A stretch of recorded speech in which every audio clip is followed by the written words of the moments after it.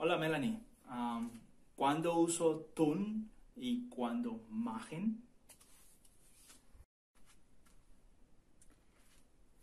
Hola Nafar, tun y machen. Bueno, machen se usa siempre y cuando construyes algo. Por ejemplo, ich mache viele Fotos. Oder Du machst einen Deutschkurs.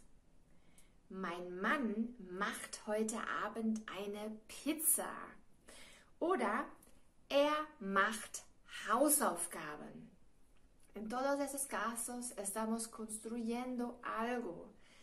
Tun se usa en general cuando ejerces algo. Por ejemplo, siempre con tun hay cosas, hay frases fijas. ¿Sí? Por ejemplo, ich will immer Gutes tun. Siempre quiero hacer algo bueno. En este caso no construyo nada en específico. Ich möchte etwas Gutes tun.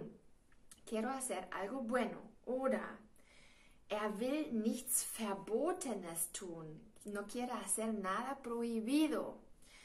Oder er hat alles für mich getan. Hizo todo para mí.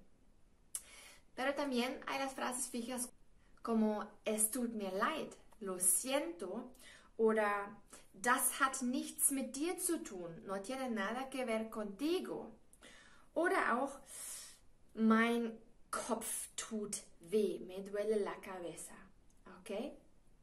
Entonces, la regla aquí de nuevo, machen cuando se construye algo, tun en general, cuando ejerces algo, pero no tienes un, un, una cosa que específica, no tienes una cosa específica. Okay.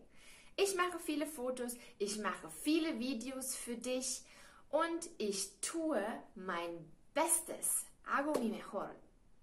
Doy mi mejor. Okay.